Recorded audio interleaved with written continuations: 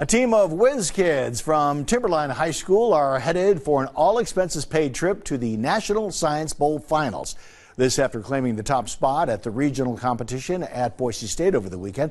The National Science Bowl is sponsored by the U.S. Department of Energy. Every year, it inspires thousands of middle and high school students across the country to compete in a fast paced question and answer competition where they solve technical problems and flex their knowledge on subjects from bi biology and chemistry to physics and math. Finals are set for late April in Washington, D.C.